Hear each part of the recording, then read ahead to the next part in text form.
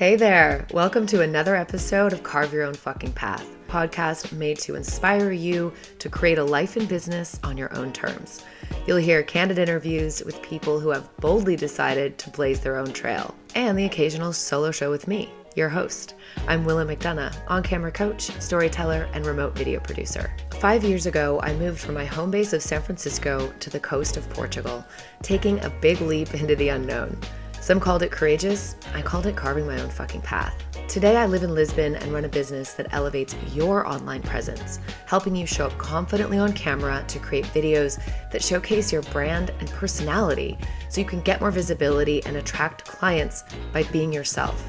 If you're just starting out in business or you've been doing it for a while, you're sure to pick up tidbits of actionable advice and hopefully feel inspired by stories from people who have chosen the unconventional and sometimes messy path. And if you've been waiting for a sign to start carving your own fucking path, this is it. I'm so happy you're here. I'm excited for you to meet my next guest, Dale Wannen, the green money guy.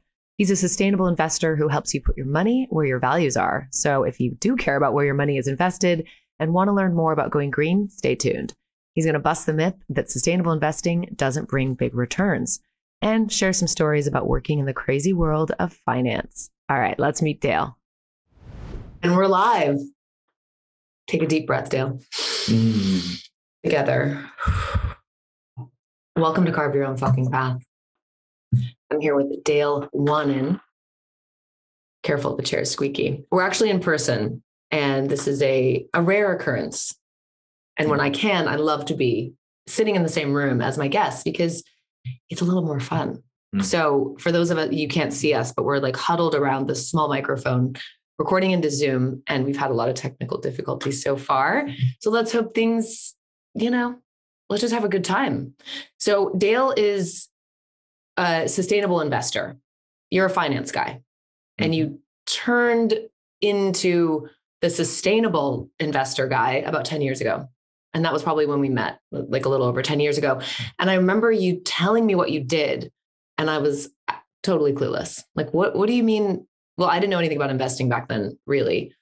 Sad to say, but mm. you were uh, carving your own fucking path in this field because it was it was early on i think when there was this awareness about you know investing but investing in things that are going to do good for the planet instead of just dumping all your money into mm-hmm. fossil fuels so i'll let you uh, you know tell your backstory because i always like to start there and um, why don't you take us to when you were eight or nine like how did you mm. get into numbers and money and and all that so i know that that's kind of when it started so thanks for being here dale sure thanks for having me well this is going to be very exciting. um, wow, eight or nine. I had a probably a bowl of like Froot Loops in front of me. Mm-hmm. Um, and the newspaper would come on the weekends. You know, my mom and dad would uh, would read the Sunday press or whatever. And I don't know what happened, but I kind of stumbled through like Garfield and all those silly comics because I was like, they're not really that funny. But I went straight to the numbers page. And again, I don't know why, but I just loved watching um, like the price of McDonald's stock go from $12 to $14. Granted, I didn't have any money. I was eight or nine, but the point being is there was something about watching the value of these companies go up and down. Um, and I probably just had like a happy meal from McDonald's like the week before. And I was like, this is pretty cool. So that's kind of where it started. Okay. But let me ask so, how did you even know that this was a stock? I, I mean, eight or nine, you did your parents have stocks and they told you about it? This is like yeah, I think my okay. dad probably had stock. My dad, my dad was a pit boss in the casinos oh. of Atlantic City. If you wow. haven't been, check it out. It's a really good time.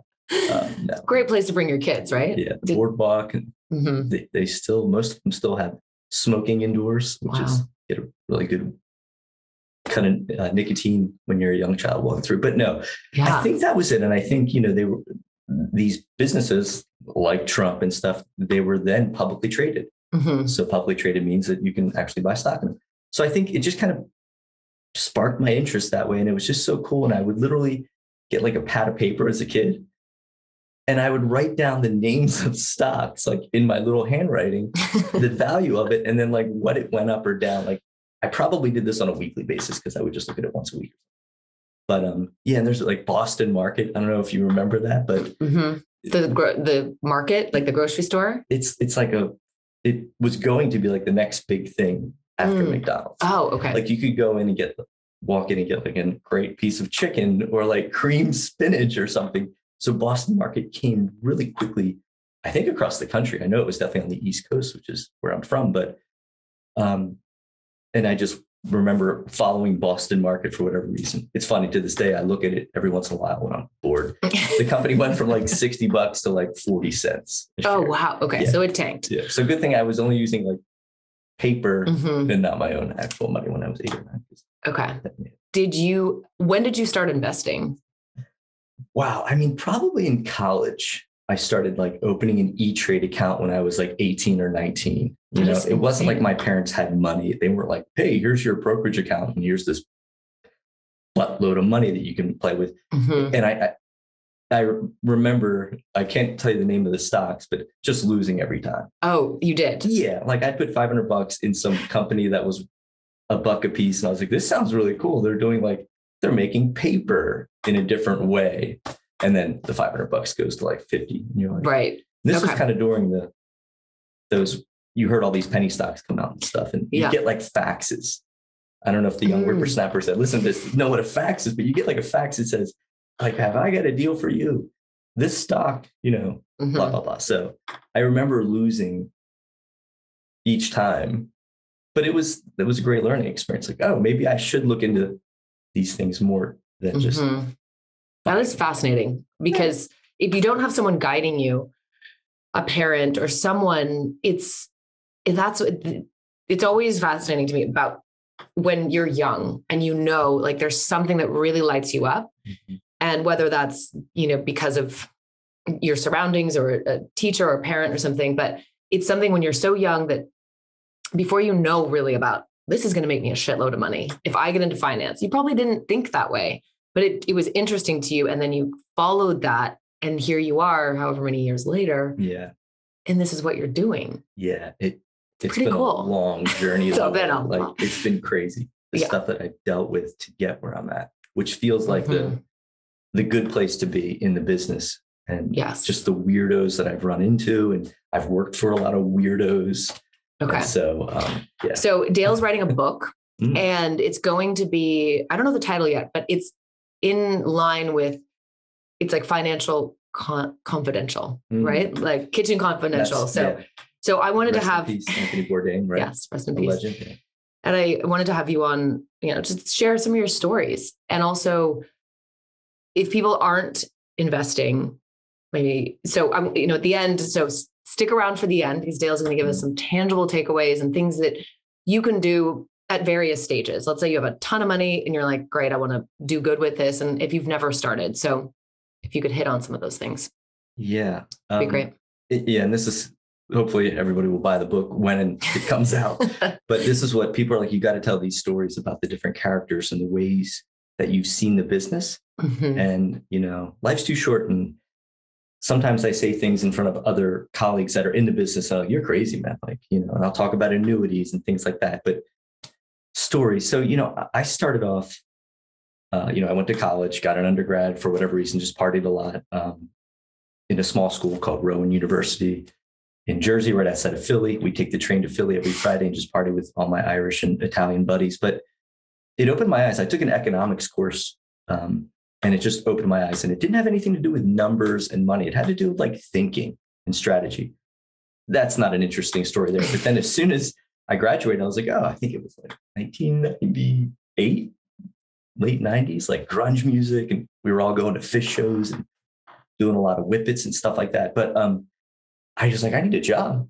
I had like maybe 1500 bucks in the bank. And I was like, oh, I got to pay rent. I'm living with buddy.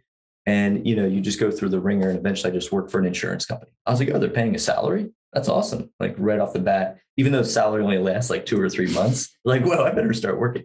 So that was my first entry professionally into the business.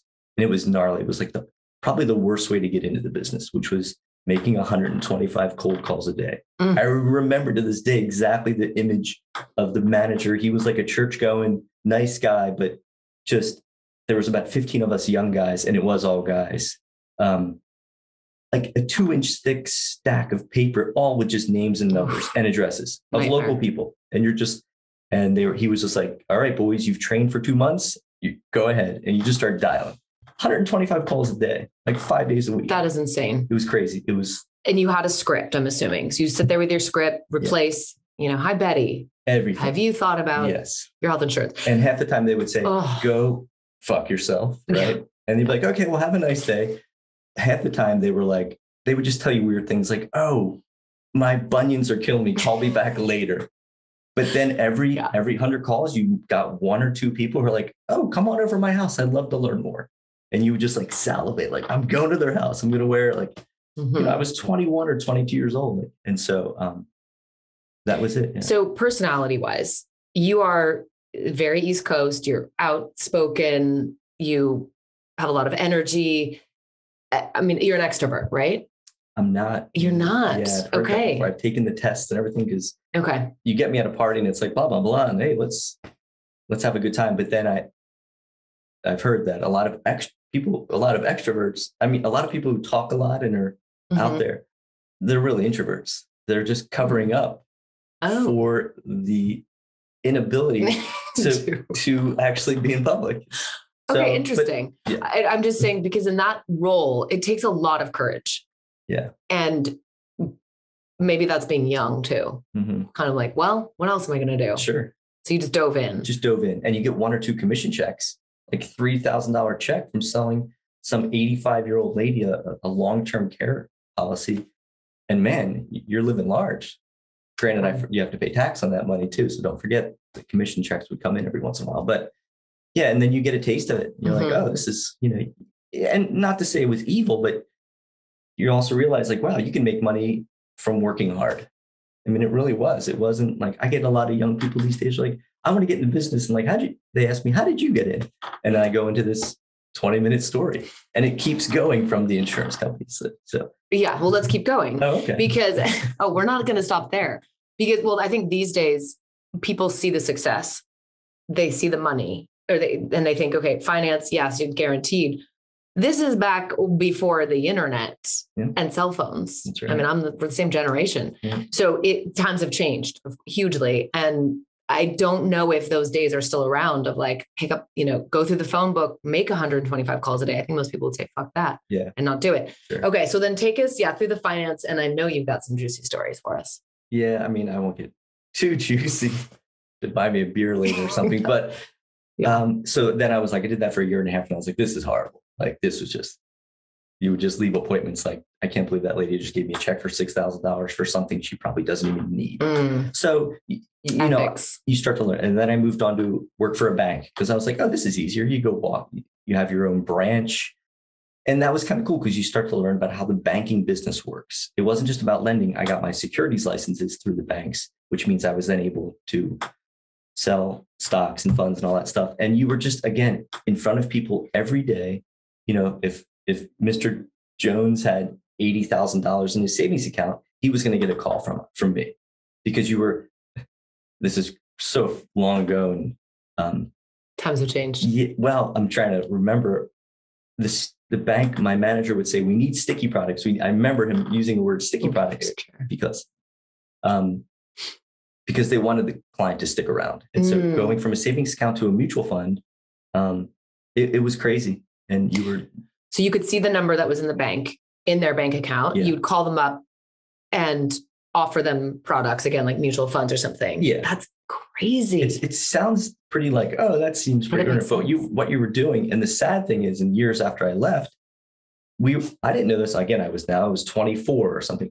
We were selling these things called proprietary funds. And again, I'm bringing this up because I've seen the bad in the industry, and you, you learn to stay away from that. And these proprietary funds, the banks, a lot of them got hit with it because they were selling funds, only one fund family, and the bank owned the fund family. And that may not sound interesting, but you can't do that. That's like walking into Whole Foods and the only thing you can buy is a Whole Foods product. And it's just like, is that right? No, that's doesn't seem right. But they were doing, and they got caught for doing that and stuff. But little Mhm. did I know that that was bad. Okay. And so then you're working at a bank and did you think, okay, now I want to start like trading? You know, And doing happened, actually 9-11 happened. So, Mhm. and coming from the East Coast, I was in Jersey about two hours away from New York, like watching it on TV at the bank. I remember um, 9-11 happened. And for East Coasters, it was pretty, it was Oh, right in your face. And so I had an epiph- like I had buddies that were like, "We're moving to California. This is crazy." And I was like, "You know, I think I might want to go with you guys." And that was the start. Even though I still didn't do, was not doing anything with sustainable investing at that point, but I knew like, all right, I got to get out of here. Like, I- I, Mhm. got to go check out. I've never even been, but we got an apartment. Didn't even look at it beforehand. Never even been to California. I I, had a Jeep story. Wrangler. It was a soft top. You know, like a bad soft top. California dreams, Yeah. your hair blowing in the wind. drove, drove cross country. I remember I brought a VCR player into in the in the Jeep Wrangler with Mhm. me because I was like, I'm gonna need a VCR player, Of course. and I still have the VCR player in my basement to this day because it's like. I remember friends just being like, dude, nobody drives across country with a VCR player. But back in 2002, hmm kind of we're still using them. I mean, Yep. so, but the bank was fun. I learned a lot. I met interesting people and, you know, uh, So then you you did you move to San Francisco then? I did Okay. the city. Yeah. Uh, no job or anything. But again, I was licensed as a securities broker, or financial advisor, and so ended up working for another bank. Um, and it was great. And that was that. And I started again continually trying to hone in on like, do I really want to do this? I really wanted to be a weatherman during this whole time. Ooh. Yeah, I don't know why, but the I weather was always interesting to me. But um, yeah, just and then I went and traveled. I met a, a a great girl, and we traveled for six months in South America. And I only bring that up; it has nothing to do with investing. But man, it'll really It's okay. We want those stories. Yeah, too. it'll really open your eyes. Like, Yeah. and I know you've probably had a lot of world travelers on your podcast, and just if a young person says, "Should I go to grad school or go get my job and go work for a community bank or something?" Like I always say, travel if you can right away. Yeah. Like just do it. And I was in my, I wasn't young. I was probably in my late twenties when this happened. But I had a couple great. Now, like every once in a while, I save a few more grand in the bank in six months in South America. And it was just great because it opened your eyes. You really see it. I remember when I went to South America for three months by myself, you messaged me Oh, and you're like, I love South America. I remember that. yeah. Really thought about moving there, but Yeah. It, it- I've done, yeah. stomach issues. Yeah. It's tough. I mean, travel is, it, that's been what I've spent most of my money and time on for sure, because it does open your eyes to different things. And then I moved abroad. and it gives you a good perspective. It- Whether you're Mhm. selling investments or you're selling computers or whatever it is, it just gives you a better perspective to speak with people. Definitely. So tell me like the, the banking behind the scenes. What is that like? Because we've seen Wolf of Wall Street and, Yeah, and like, it's what, what's the truth? Well. First of all, I'll get to the dirty stuff in a second if you really want me to. But the bank, you know, they're machines. There's a reason that they have fancy offices. Mm, They're money machines, and they have they have branch managers. Then they have district managers, and it's like a it's pretty wild because everybody is telling everybody else to do more, right? And, like, Mhm. and you're the I was the low man on the totem pole selling things to the actual consumer. And it's just, and I know a lot of businesses are like this, but it's just like, wow, what a machine because they just have to make the numbers. You have to meet your quota, blah, blah, blah. But it just, it's a grind and it spits people out quickly.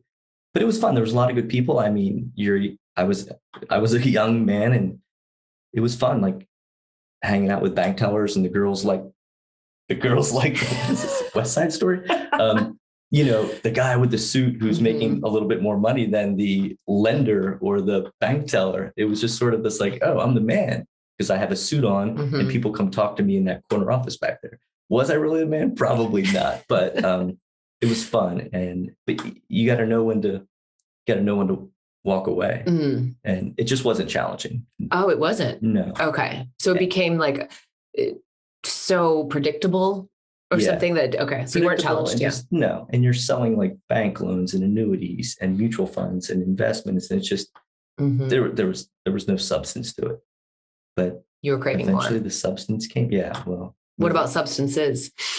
definitely A lot of that. Yeah, there was plenty of that. I mean, Yeah. but we were into like widespread panic and Phish, and Oh, there was a lot of substance on the East Coast going around with those kind of music shows. But you listen to that kind of music. oh yeah, yeah, I'm surprised by that, people. but I don't know it so well. I'll be playing golf here, like in Sonoma County, and just I play golf once in a while, just to get my mind off things. And like, oh, you're you're in the investment business, yeah, yeah. and then they're like, oh, we start talking about music. I'm like, I'm a big Phish fan, Phish head. They're like, what? Like, hmm? yeah. But Oh, but I don't know that. I just can like think of a person that would listen to that kind of music. Sure. But Not it's an investment advisor. no. But I have another girlfriend. I'm like, you listen to them again. As we make judgments and stereotype people Sure. when you shouldn't, Yeah. right? Well, Not all the time. Yeah. So, were you going to say something? I was just going to say, then moving on from there, Yes. I want, you keep know, going. it's, you start, you just every once in a while, you feel like you want to make a change, right? Mhm. And the sustainable investing was starting. I moved to San Francisco and it was a little bit more out there, even though it wasn't, this was early 2000s, it still wasn't primary, but um, Didn't Didn't you get a green MBA or something? I did. Yeah. I Okay. I spent a remember lot that. of money on Yeah. it, but it was a great experience. Yeah. So you- that Mhm. was later in my 30s, of course, when it was a good time to do it because I was now at, at- through the wringer and I eventually became something called a portfolio manager for a gentleman named John Harrington, who's sort of like my Obi Wan Kenobi to this day, Mm-hmm. um, because he's like this guy that lives up in the Napa Hills and like a true pioneer in the field of sustainable investing and like activism. But nobody knows him. He- It's just so funny. He like puts the hood on his head and like, but He's he's a got a pretty big firm Mhm. not a lot of employees, but he, he keeps a tight ship. But um, people like that, that he really inspired me. He became, Okay. I was like, oh, I'm, I'm Luke Skywalker now. Mhm. Whatever Obi Wan tells me to do, I do. And it was just really an eye opening experience. But The power of mentorship huge. it's huge, and it's a, a kind of a lost art. I feel like these days, or you you know you go to school, you have to pay people a lot of money to be your teacher mentor. So this, so you saw him running his own business, but not necessarily being in the spotlight. yeah. Met him at a, at a drinking party in San Francisco. Just happened like, hey, what's going on? You know, I was like still a goofy guy in my 30s, still goofy, but I'm in my 40s, but less goofy. But um, More serious now. just what are, what are the odds that you run into somebody like that? Mhm. and I was in the midst. I was at UBS, which is a big broker house in San Francisco, and again, doing the cold, still back to the cold call, Mm. selling like municipal bonds to people in the Bay Area, and I was like, "What am I doing?" I keep digging myself back into these things, even though it, it incrementally it, it added to my um, experience in the business each Mhm. time. Like each time, it's like carving a stone. Like, um, but eventually, it just again the weather. I was going to go to school, become a weatherman. I still wanted to go back to that, but maybe I will when I'm I was in gonna my say, 60s or 70s. Yeah, you still want to do that. I mean, why not? Yeah, right. It's a lot of like science though. Yeah, and like really, our. And you'd have to be on camera. Yep. And Dale and I, we're going to start shooting some videos together for his business, and he's terrified of being on camera. not a big So people looking at me in general. It's just not this will be a good, good uh, practice. Yeah. So the the feeling, could you bring us like into a moment when you're like, I'm going to carve my own path, like I'm going to do my own thing, and I'm going to get away from these big companies. Is there a dis- a distinctive moment that you can like recall about that? Great question. Um, I think it was. It's been on my mind the whole time. Maybe I was just too scared to do anything about it because I was getting experience at all these different firms and banks and things like that. Um, I when I went to work for John, again, my Obi Obi-Wan. Wan, yeah, Mhm. Obi Wan. I saw how you're supposed to do it. In my opinion, I really saw like his clients love him. Um, he, he was advocating for change at companies that just weren't doing good things Mhm. And he was truly aligning values with money. And this you know this was 15 years ago at least more than that 16 17 years ago when i worked with john. I was with john for about six years. But um that was my true moment when i think i saw this is kind of the right way to do john kind of carved his own path. I got my mba while i was working. It was Mhm. a four year if part-time which also helped me meet a lot of interesting people that were involved in sustainability and like they were um, people who want to get a business degree, but at the same time cared about the planet, which there's only a few of them out there, including myself. And so, and you spend just as much money as maybe some of the big schools to do it. But that was super cool because there's a lot of nice people out there and you really want to align yourself with them. But um, yeah, the, the moment really was when I was like, John, can I be a partner in your firm? He's like, nah, I don't hire partners, you know, and I'm, if, John, if you ever listen to this, like, it wasn't like that, but it was like, okay, I think I'm going to start my own business and I knew I had no no clients or anything. And I was like, thanks, John, a handshake, and thanks for six years. Like, and I did it. And again, I kept saving a little bit more money each time I was at these jobs. But um, I just felt like uh, if I'm going to do it, do it now. I was in my 30s.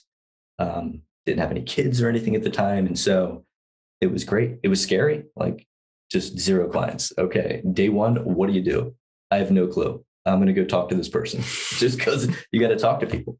And remember, for you're for good 20, at that. Well, I guess I am because after 20 years of doing it, or 15, you're like, oh, I can just talk to people. And then giving talks in front of larger groups Mhm. about like, you know, truly, do you really care like about the, your kids and your grandkids? Because if you do, owning like coal mining companies is just you really don't care.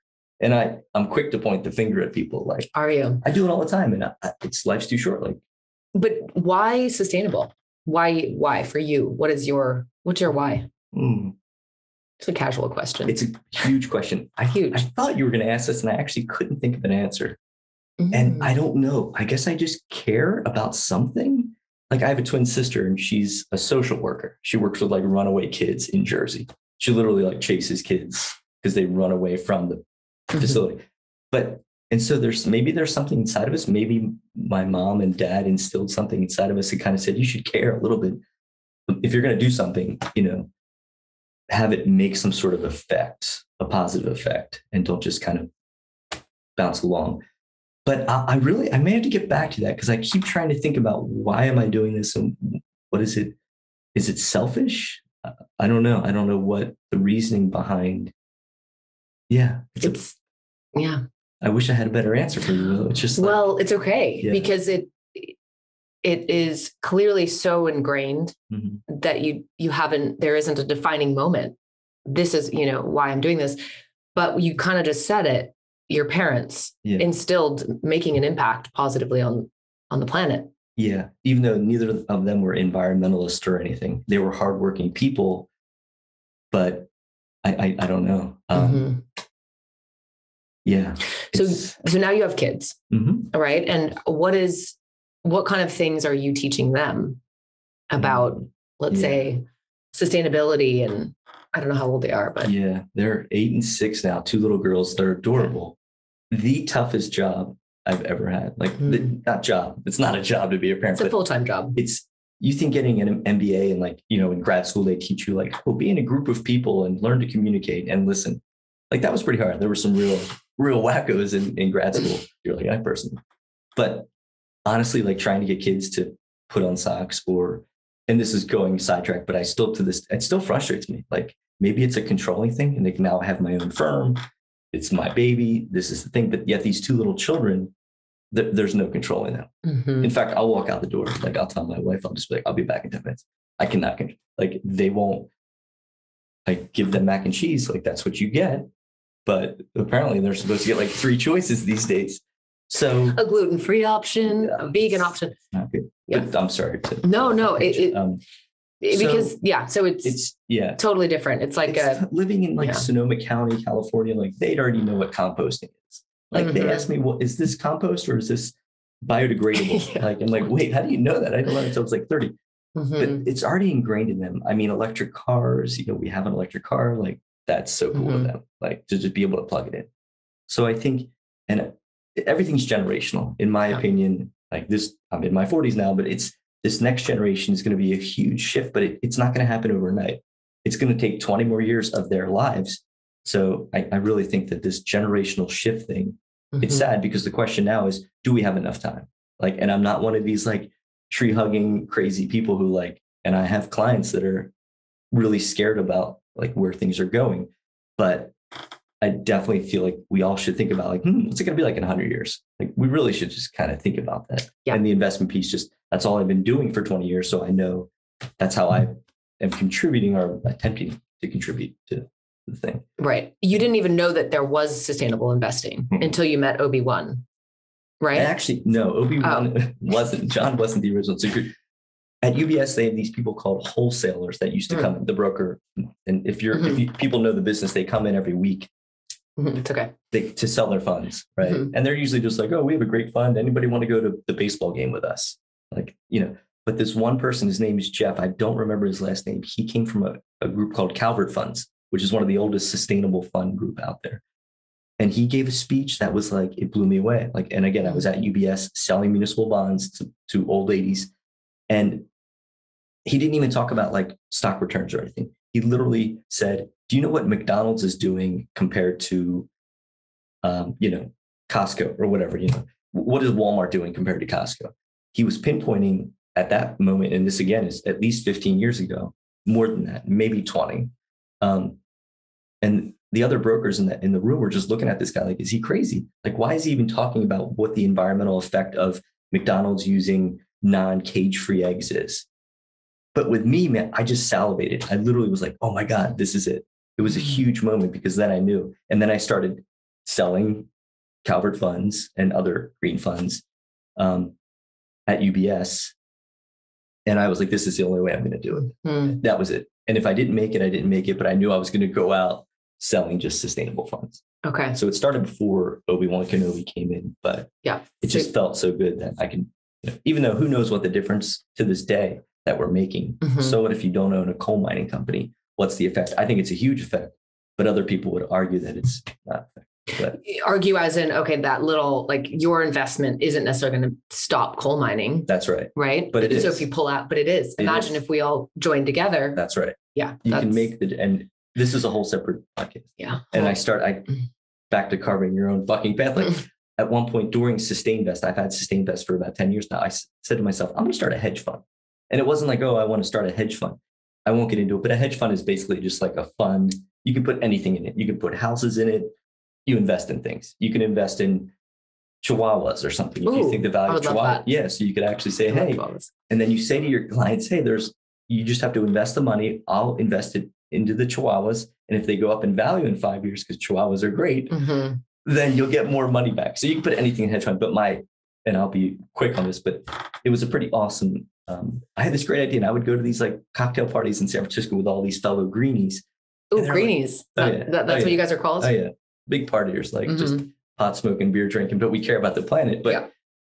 and I had this idea for a long short fund, and this may sound boring. I'll put it in the book, and it's I thought it was interesting. Everybody was like, we're like smoking weed at parties. Like, dude, you got to run with this idea.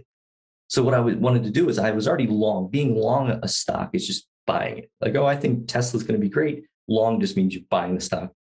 But you can be short on a stock, which means I think the value of it's going to go down and you can make money on it. Mm-hmm. So my idea that I pitched to a few clients who eventually I paid an attorney a, a buttload of money to open up this hedge fund. And there's a lot of compliance and stuff behind it. But I was like, why not? Instead of just not owning Exxon, why don't we just short it? Because we think it's going to go down a bit, or coal mining.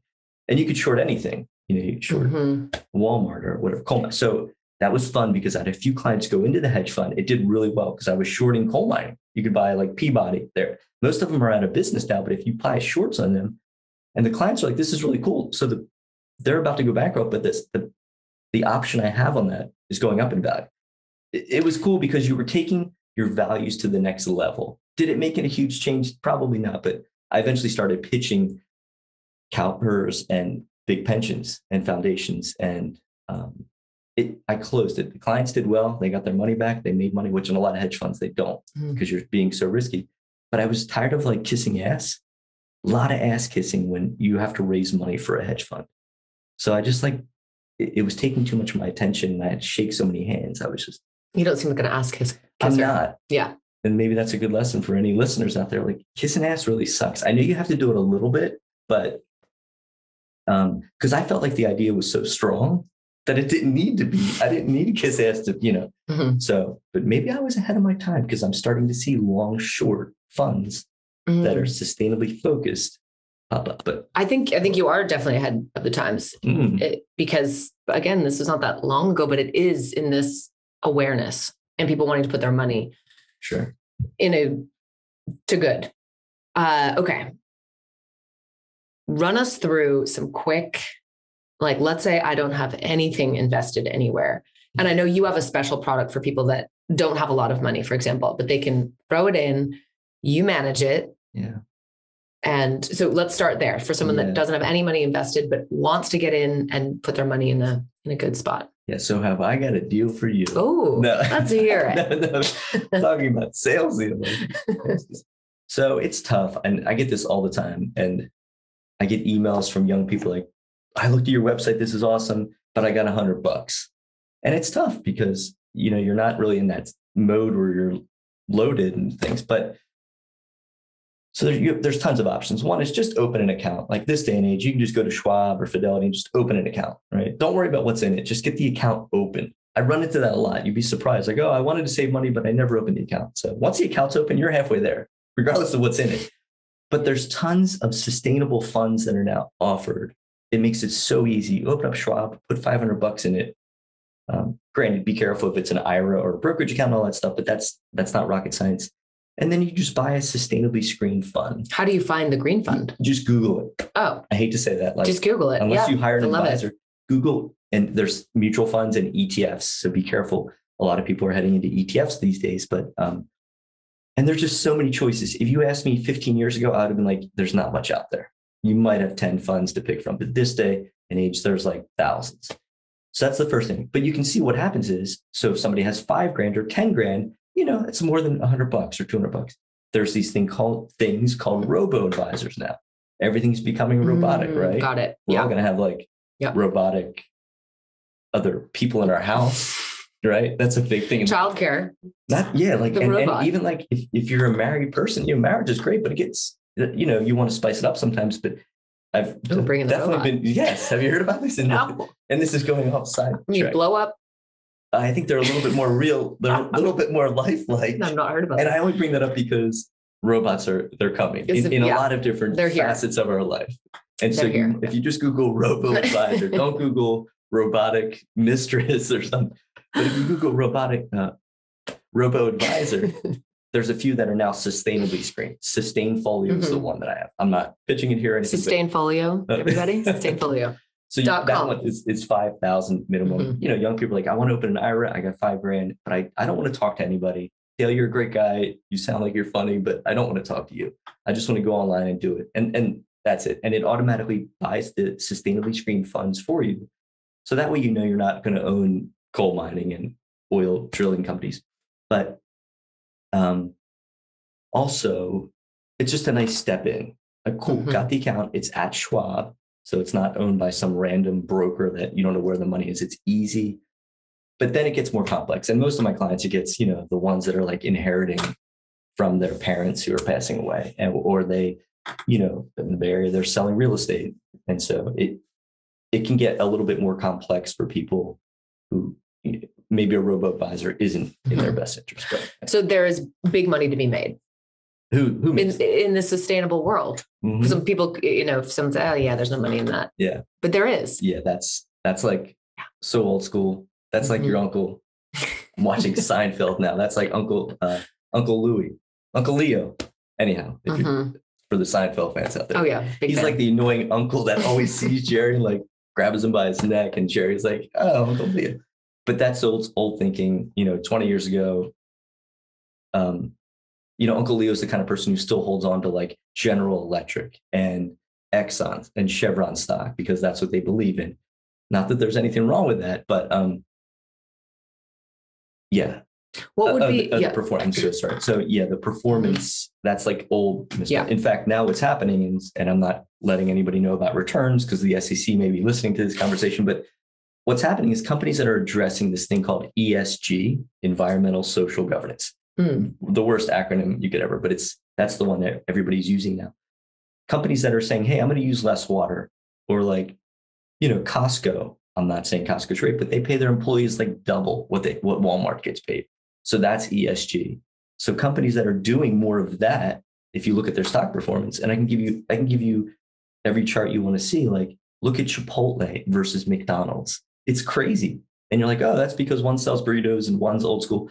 In my opinion, in my weird, weird, weird world, A weird world. I feel like it's Chipotle that's addressing sustainability Mhm. issues, and the stock is being rewarded Mhm. because they're they're they're buying local and the com- and the, their their customers love it and things like that. So that's an old school way of thought.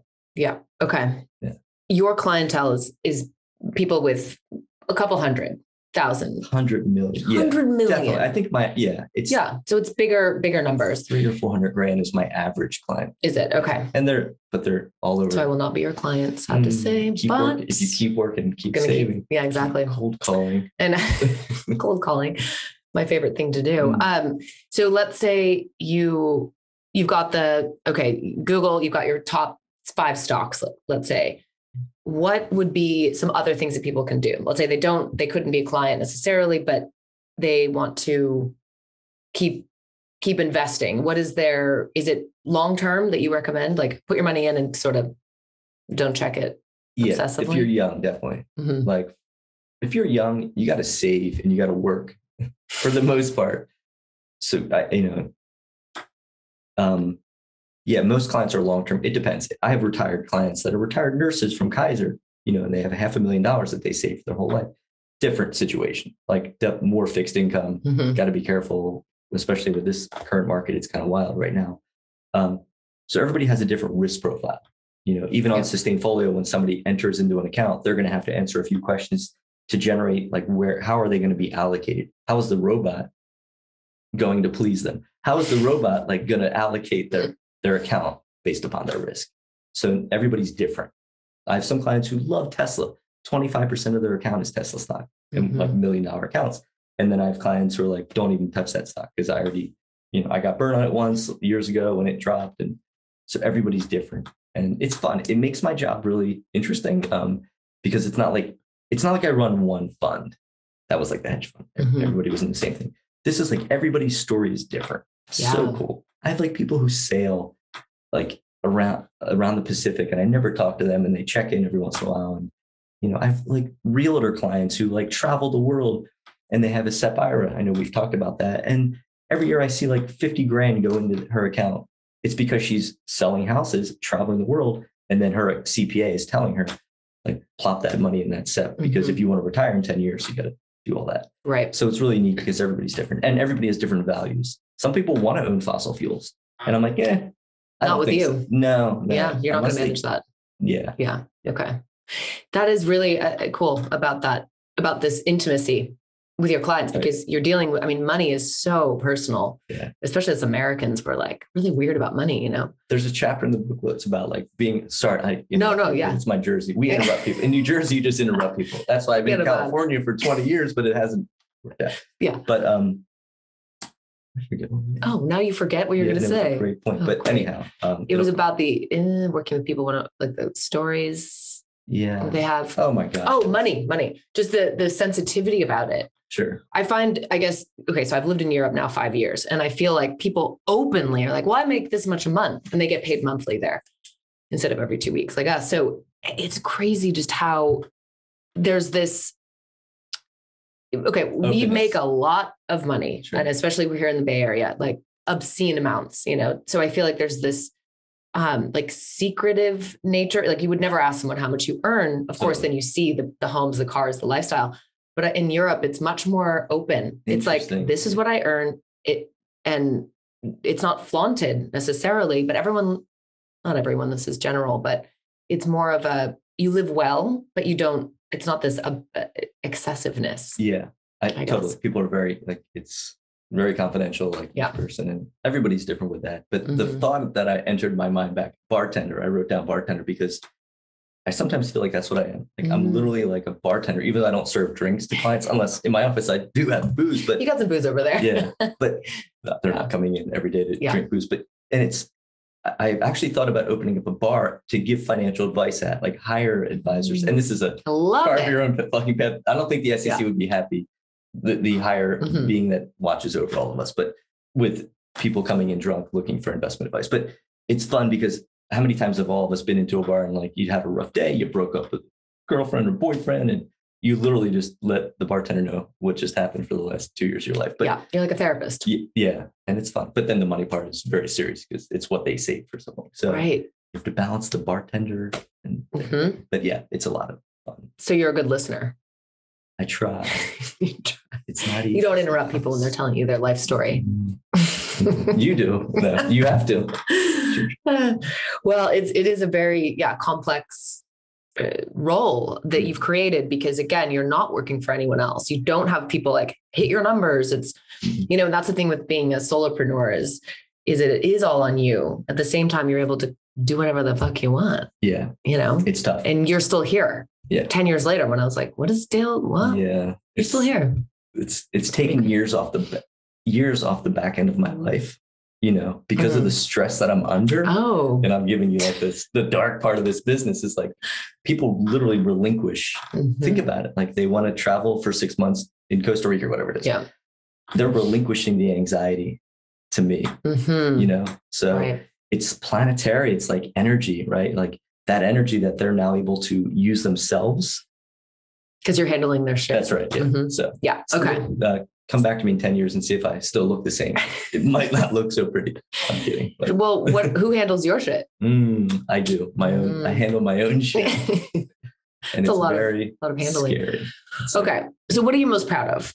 Wow. I know. Sorry, I just got to come in there with that question. Yeah, that's a tough one. I mean, the hard work definitely. Like it's now you're starting to see the fruits of your labor, you know, after mm-hmm. all those years. Mm-hmm. Right. And and you I have no clue if this is the right path that I'm on, like to save the planet, but it definitely feels better going home at night.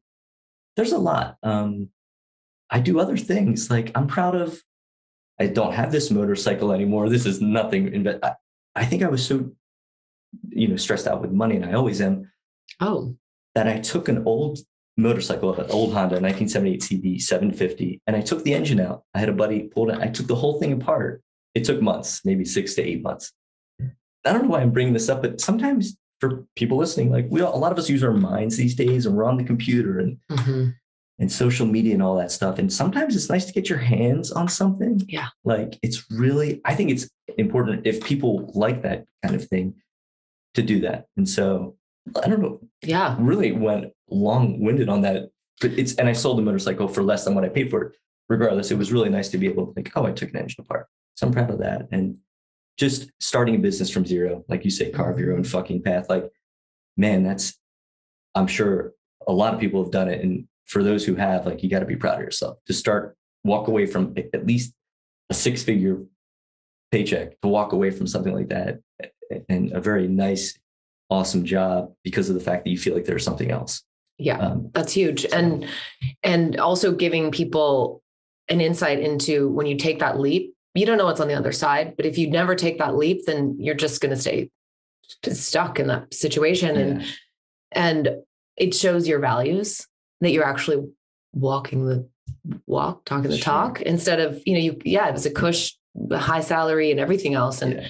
and that's why most people get into finance, I think, because they're mm. like, yeah, sweet paycheck. Sure. And, know, and I always have to like like the book is the new thing for me. Like the robo advisor. It's just I feel like and I think with a lot of people who are entrepreneur, like you gotta, I feel like I have to do something else. Mm-hmm. Like, you know, Sustain SustainVest is doing well, but just to do continually do other things, write a book if you can. Yep. Like Reach I don't know what's going to happen. Yeah. Mm-hmm. Like, what's going to happen in five years?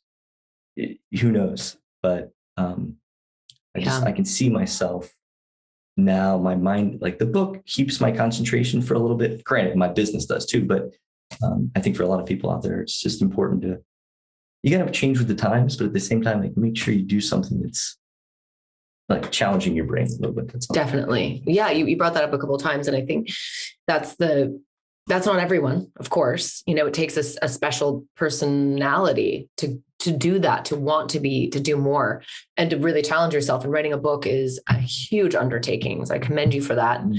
And I want to acknowledge that you have committed to this and you're still going and you have a lot of knowledge and now you're sharing it. So you're going to be doing more videos, writing this book and telling stories because we all love stories, yeah. you know, and that's sort of, I think what connects us and you, you definitely are creating multiple platforms now to share those stories and also the Sustainfolio. So for people that want to get in at a lower amounts, you're not just, you know, up here that people can start investing at, with a hundred bucks, you know, and and really appealing to all types of people. Mm. So Thank nice. you, Dale. You're you're amazing. Oh, come on now. And you're making me blush. Oh, he is blushing a little bit. and is there anything else you want to share? You know, first of all, thank you Will, for having me. Like, this is awesome. Like, I've listened to a lot of your podcasts. It's thank you. It's even for somebody who's been self-employed for ten years.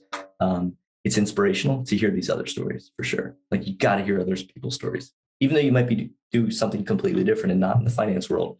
Um, that's it. Just mm-hmm. everybody keep carving your own path if you can, and but also pay the bills and stuff like that. at the same time and invest and invest. get That's right. to investing Yes. Oh, I'm so sorry. The heart of the matter here. Yeah, get get get at, get your shit out of Exxon and all these Mhm. evil companies. It's so easy to do it. And if I hear from any of you and you say, "Oh, I have this Vanguard account," I'm literally just gonna hang up the phone. wait i have a vanguard account there you go. Oh, no. get Yeah. that shit out of it shit because they're really not advocates for Mm. sustainable investing. So that's so good go. to know We see we don't don't know this stuff Get we your just shit together. get your shit together thank you so much dale Thanks Pleasure. for having me. That brings us to the end of this episode. Thank you so much for being here. If you enjoy the show, please rate and review on Apple Podcasts. It makes a big difference for visibility. And even better, share this episode with a friend. And don't forget to subscribe so you never miss an episode every other Wednesday. If you're interested in working together to elevate your online presence, I'd love to hear from you. Reach out to me on Instagram at where is Willow. I also hang out on LinkedIn, Willow McDonough. Until then, cheers to carving your own fucking path. I love you.